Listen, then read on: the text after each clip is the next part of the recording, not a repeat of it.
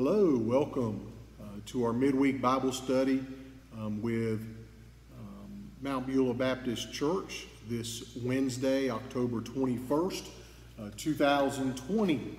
Um, I am very thankful that you guys are continuing to join with me um, through YouTube and checking out our midweek Bible studies.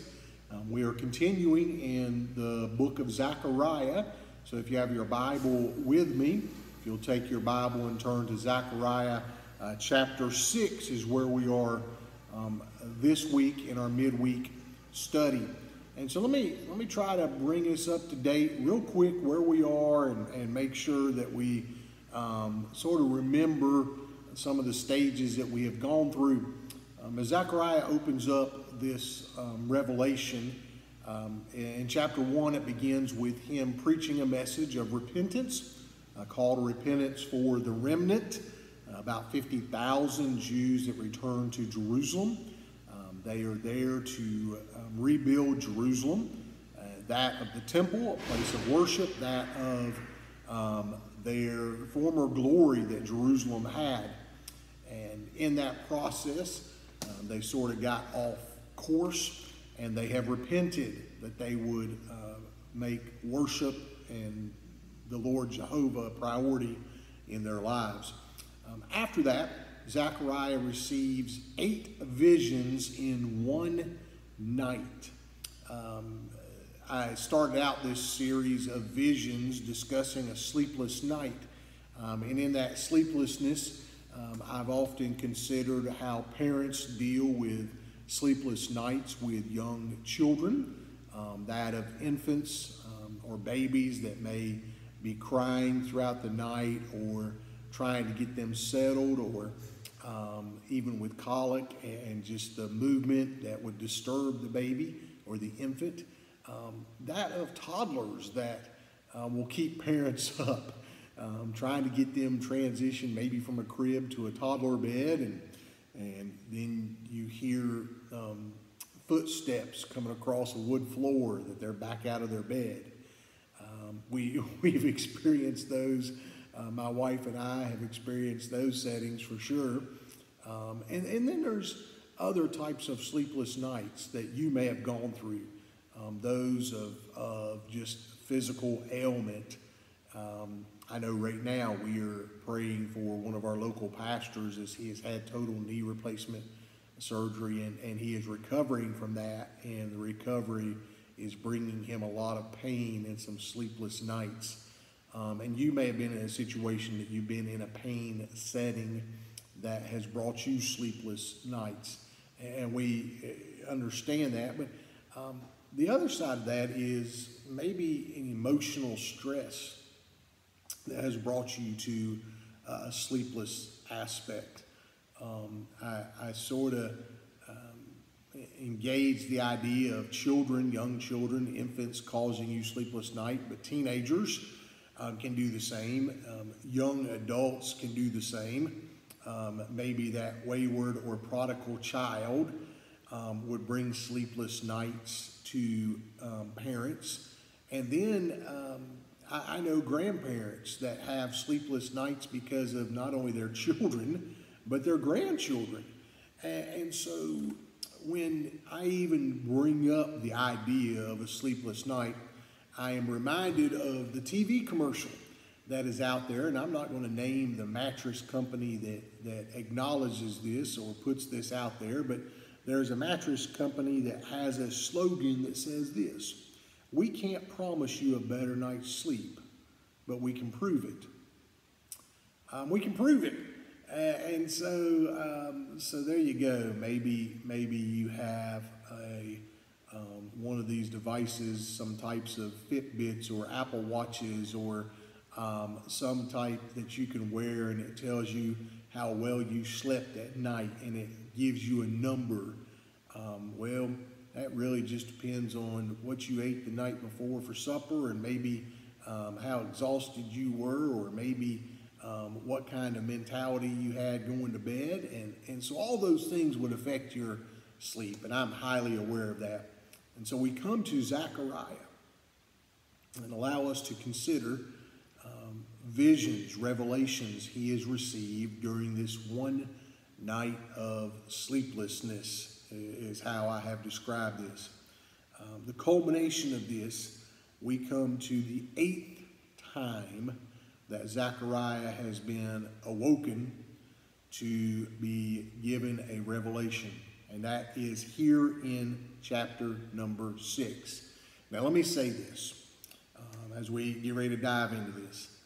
Um, each of these revelations that he has woken up to are not revelations that have been scary or are nightmares or are disturbing. As a matter of fact, every one of these revelations brings him to a point of encouragement that he is going to get to share with the remnant, with those 50,000 people and growing um, there in Jerusalem and in the area of Jerusalem. So, this is an amazing night of encouragement that he is going to be able to share with God's chosen people. So, if you will, check out with me uh, chapter 6, beginning with verse number 1. The Bible says, I turned and lifted up my eyes and looked, and behold, there came four chariots out from between two mountains, and the mountains were mountains of brass. In the first chariot, there were red horses. In the second chariot, black horses. In the third chariot, white horses and the fourth chariot, grizzled or mottled, um, M O T T L E D is another word for that, um, and bay horses or strong horses. Then I answered and said to the angel that talked with me, What are these, my Lord? And the angel answered and said to me, These are the four spirits of the heavens, which go forth from standing before the Lord of all the earth. The black horses, which are therein, go forth in the north country, and the white go forth after them. Uh, the grizzled go forth toward the south country, and the bay or the strong, they went forth. They sought to go that they might walk to and fro through the earth. And he said, Get ye hence, walk to and fro through the earth. So they walked to and fro through the earth. Verse 8 Then cried he upon me, and spake unto me, saying, Behold, these that go toward the north country have quieted my spirit in the North Country. Um, we're going to pause right there and consider the eighth um, revelation uh, that he receives and um, try to make an understanding of this for Zechariah. As I stated earlier, each of these revelations have been words of encouragement. And because they are words of encouragement, we again get an eighth setting that is also another word of encouragement. So uh, allow us to consider what he sees. He describes the vision of four chariots, um, and in these four chariots, they have um, are being led by different colored horses. Um, and the scripture will describe these four chariots as the four winds. Um, and they are going to and fro in the earth. So let me let me sort of put all that together and say that um, what we have is a picture of angels, God's servants, um, in chariots, evidently, led by horses to carry out God's messages or commands as God dictates to them. And so um, the interesting thing is, we start off here with two mountains of brass. Now, I, I will say this there is no place in Israel, in Jerusalem, um, that there are mountains of brass. Um, there, there's no bronze mountains there. Um, I know the dome there um, has that appearance, but not a mountain, and not two of them by any means. And so the idea of this brass or bronze being used in Scripture usually relates to that of judgment. Um, what do I mean by that? Well, um, if we consider the bronze altar in the tabernacle, it is a period of sacrifice for sin, and the judgment of sin is this blood sacrifice that is offered on this bronze altar. Um, if we consider on the life of Moses in the wilderness, um, there was a outpouring of deadly snakes. People were dying, and he crafted, molded a bronze serpent. He put it on a pole and said, anybody that will look to that um, they will be um, able to be saved from their death. Um, obviously, a beautiful um, picture of that of Jesus Christ going onto a cross. That if we would look and believe and accept Christ as our personal Lord and Savior, then we would be saved and we would have eternal life and not eternal death. Um, also, if we, we jump forward, I know those were jumping backwards. If we jump forward and we come to the book of Revelation, it does acknowledge um, a picture of Jesus having bronze feet in the aspect of judgment, again, in Revelation chapter 1. And so, um, to bring all that in perspective, um, this vision really is going to announce a judgment that is coming. And Zechariah is getting a, a picture of this. He's getting this revealed to him that there is judgment that's coming. And so um, it, it comes back and gives us these four chariots with these four different colored horses. Now, to be quite honest, in this passage of Scripture, it does not dictate what these horses represent. If we are to jump forward into the book of Revelation, um, as John receives this revelation from the Lord, um, there he does write what some of those horse colors might represent. Um, that of the red horse would be that of war. That of the black horse would be that of death and famine. Um, that of the white horse would be that of a conquering or a conquest that would come. Um, and then we have this, as far as the King James Version says, is grizzled um, or mottled, M O T T L E D, or spotted. Um, there even goes on to a translation that would say it is a marble colored um, horse. So, a mixed colors of this horse, or um, spotted, or, or whatever color you would want to try to put with it. Um, and, and, so there's a fourth type. Uh, the colors do not seem to um, be a huge deal in this. Now, um, please just take it for what it's worth. That we've just got a bunch of colored horses that are being acknowledged here. The four winds of heaven are acknowledged um, in verse 5 as the spirits of heaven, um, that of the angels that are working um, constantly in God's word.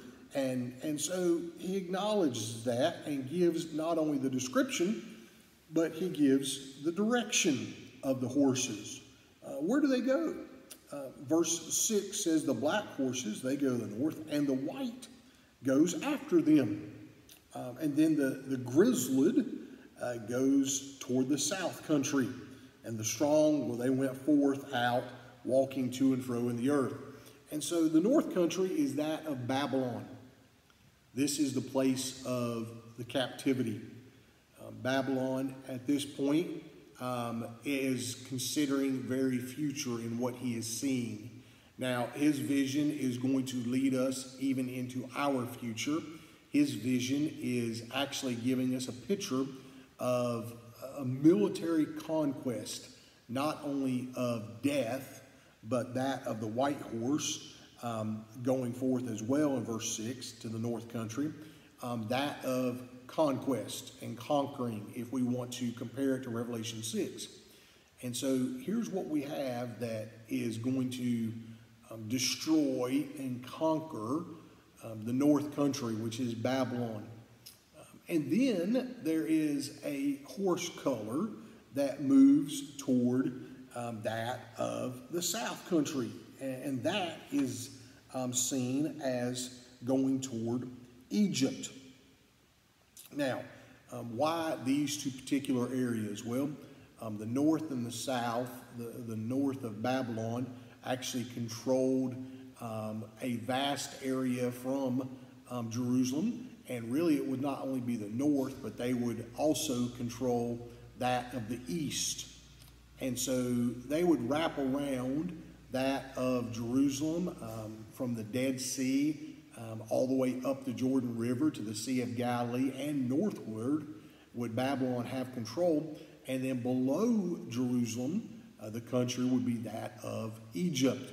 And of course, if you were to go west, you would be at the Mediterranean Sea. And so, for all intents and purposes, the Lord says, you know what? I am going to um, take and send this military force of my angels in chariots led by horses to go and, and carry out my command. So, what happens as these four horses, uh, these four winds, these four spirits of heaven move in this direction? Well, destruction happens. Look with me in verse number 8, the last verse of what we read through this period. Uh, verse 8, it says, Then cried he upon me and spake unto me, saying, Behold, these that go toward the north country have quieted my spirit in the north country. Um, when is God's spirit at peace? Well, this is going to be the conclusion of the tribulation period. Um, I believe this, this tribulation, the, the, these angels are going to carry out God's commands. If we consider um, Revelation as we study that, um, we see that there is going to be great uh, turmoil, great devastation, great famine, um, and great death will happen. And the Bible says that God's Spirit will be quieted. For that to happen, um, it's going to have to come to a point in time where Jesus um, will then um, come to reign. It would be that of the millennial kingdom. It would be that after the tribulation, and that Jesus would come and sit on a throne to take control. Now, um, Zechariah doesn't get that in this vision. What he gets in this vision that God is going to be at total peace. Can you imagine God looking on earth and being at peace?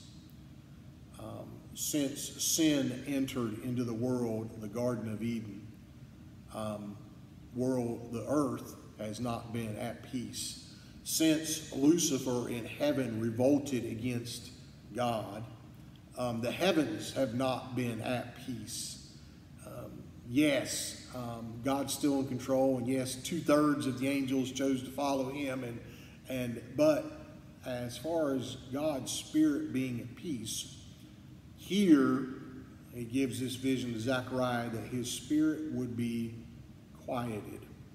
There would be a calmness that comes upon His Spirit. Now, this concludes the visions or the revelations that He has revealed to him in this um, sleepless night. So, what happens? God's Spirit is at peace. We come to a period of time that um, the temple has been you know, promised to be rebuilt by Zerubbabel, who started it.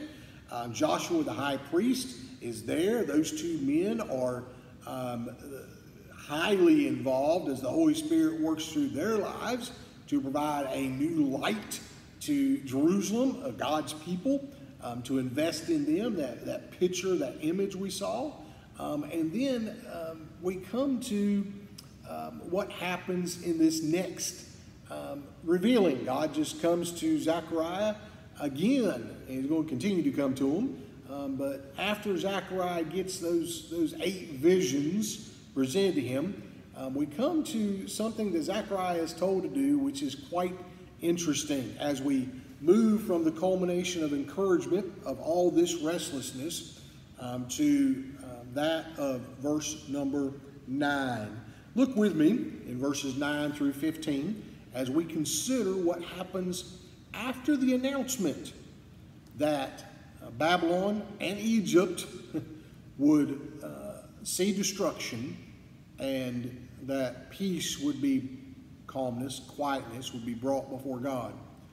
Uh, look with me in verse number 9. The word of the Lord came unto me, or Zechariah, saying, Take of them of the captivity even Heldai and Tobijah and Jedaiah, um, which are come from Babylon, um, and come thou the same day and go to the house of Josiah, the son of Zephaniah. Here's what I want you to do. Verse 11. I want you to take silver and gold and make crowns. Set them upon the head of Joshua uh, the son of Josedek, the high priest. Now, this is Joshua, who we've talked about before. Speak unto him, unto Joshua, saying, verse 12, Thus speaketh the Lord of hosts, saying, Behold, the man whose name is the branch, He shall grow up out of this place. He shall build the temple of the Lord. Even he shall build the temple of the Lord. He shall bear the glory, and he shall sit and rule upon a throne. And he shall be a priest upon his throne, and the counsel of peace shall be between them both. The crowns shall be to Helem and the Tobijah and to Jedaiah and to Hen, the son of Zephaniah, for a memorial in the temple of the Lord. Verse 15. They that are far off shall come, they build the temple of the Lord. You shall know the Lord of hosts hath sent me unto you, and this shall come to pass if you will diligently obey the voice of the Lord. Allow me to consider Zechariah's mission. um, he, he now has to confront some men that have traveled from Babylon um, to bring, bring money, financing to help with the rebuilding efforts. Now, uh, this is a wonderful, wonderful thing that is happening. Um, there are Jews, there are believers, such as even Daniel, that's still in Babylon, did not come back with the remnant. Um, they are there collecting money, finances, gold, silver, and they have sent this gold and silver to Jerusalem to help them in the rebuilding process. Now, um, I, I guess the best way I can I can put this would be in our history of a reconstruction period of time. Um, if we go to war and we cause uh, U.S. cause uh, damage in a country that um, was innocent damage, we as a country um, feel indebted to help reconstruct or rebuild that area. Um, we have seen that happen in the Middle East over the course of the last 20 years. Um, there's no telling how much money the United States has put in, not counting military force and people that have invested to try to help rebuild and set up a democracy um, in the Middle East area. Um, and so this is, this is what we have. We have men traveling from Jerusalem to Jerusalem from Babylon with money. And, and Zechariah just comes out and he has to confront these men. He says, okay, guys, I know that you have come to help us. The money is great. You're trying to help finance rebuild the temple. I appreciate that, but here, here's the deal. God told me to take your money, your silver and gold, and to form some crowns. How would you respond to that? Um, uh, these men were commissioned to help rebuild the temple. The priest, the prophet, uh, excuse me, the prophet of the Lord comes and says, I need that money. I need to um, make some crowns. And they gave him the money. Um, it is one thing to obey the word of the Lord, it is another thing to trust God's servant and trust God's man. And to this point, Zechariah has done nothing to lose the trust of his people. Actually, um, he has done everything to gain their trust. And God is blessing him in his ministry as it continues on. And so these men say, okay, here you are, you can have it. And he takes the gold and silver and he fashions what the King James Version says crowns, but um, appears to be one crown with maybe multiple facets to it that would give the idea of multiple crowns. Um, now, I, I, don't know what it looked like. We don't have a description of it other than uh, there you go. Now, he could have made multiple crowns, and that's fine, but the context is going to lead us to one crown, and, and we'll see that. So he gets this, and he makes this one crown, and so he goes um, in, in, verse number um, 11. He takes it, he makes crowns, and he sets them upon the head of Joshua, uh, the high priest. Now, I've mentioned Joshua time and time again. Joshua stood before Satan accusing him. Joshua was guilty of not leading proper worship. God says, You know what? Take your hands off my man. Um, I am going to cleanse him. I'm going to put him in white garments. I'm going to put a white turban on his head. He is going to be purified and he is going to lead worship in the way that I have called him to lead worship. And the truth of the matter is, he was stained with filthy sins and filthy rags and guilty. And God says, you know what? No more. So he crowns Joshua with a crown. But then he says, okay, Joshua, you need to understand what's going to happen. Verse 12 Behold, the man whose name is the branch. All capital letters, King James Version. Should be something similar to that in a version you might have. He is talking about Jesus Christ. Here, here's what's going to happen. He's going to grow up out of this place. Did, did Jesus grow up out of Jerusalem? Yes. Um, it was Jerusalem where he was taken to um, from Bethlehem to be circumcised or to be acknowledged his name. Um, so he grew up out of Jerusalem. Um, he, uh, from that point, he is going to build the temple of the Lord. What's the temple of the Lord? It's the future temple that is going to be built. He's going to bear the glory of that. Absolutely. People are going to come and see him and his glory. He's going to sit and rule upon the throne. He is going to be uh, king during the period of the millennium, a thousand years. He is going to reign. And not only that, he will be priest as he sits upon the throne. He is going to be king and priest. And he shall counsel peace to the people. He is going to be king and priest and bring peace. Now, the crown was made, the crown was put on Joshua's head, but it was symbolic. It was not for Joshua to be priest and king. They already had a governor. Uh, Zerubbabel was already governor.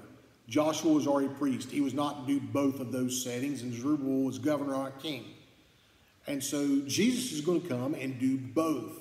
So this symbolic crown is built, constructed, placed on Joshua's head, then taken off his head. Verse 14 the crowns uh, shall be that these men, um, Helem and Tobijah and Jedaiah and Hen, the son of Zephaniah, they shall be for a memorial in the temple of the Lord. We're going to take these crowns, and if there were multiple crowns or if there was one crown with multiple facets, we're going to take this and we're going to put it in the temple as a memorial for the Lord. We are going to remember this point in biblical time that will be seen in the future. Let me say this it is not the first time that something was placed in the temple or the tabernacle to be hidden or kept as a memorial. If we go back to the life of David, David, after he kills Goliath, uh, the stone does not kill Goliath permanently.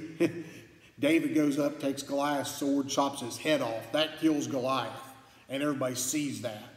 Um, in that process, that sword is kept in the temple for years, and then later, David is going to be in need of a weapon, and he is going to acquire that sword for himself to use in battle. So it's not the first time something's been done, but it will be the first time this is in memory or memorial for something that will happen.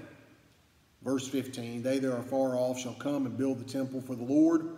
Um, so in our culture, as this temple will eventually re be rebuilt, it will not be just those um, architecture designs or engineers just there in Jerusalem. It will be other people that will be influenced in the building of this futuristic temple. Um, and you shall know that this has happened and it will come to pass if, if you will diligently obey the voice of the Lord. Zechariah Here's the deal. Um, you need to understand if you will obey my words, if you will obey my voice, you will see that this is true. This will come to pass. Can you imagine for a moment Zechariah not only getting the eight revealing settings in his nighttime visions, but then coming to a point of going and making this crown or crowns and saying, guys, one day the Messiah is coming. One day Jesus himself's coming. One day this branch is going to come and is going to rule on the throne. And it's not going to take a king and a priest. He's going to handle it all. We're going to be living in peace. If you obey the words of the Lord. You know, as, as believers, it is accepting Jesus Christ as our personal Lord and Savior and then living a life for Him. I trust that you'll be encouraged about the future that God has in store for us. A future that will quiet His Spirit And I promise you this if the Spirit of God is quieted, um, we as believers will be able to not only enjoy, but we will be able to live at total peace in our future with Him. May God bless you. Thank you for tuning in with us, watching our midweek Bible study here at Mount Beulah Baptist Church.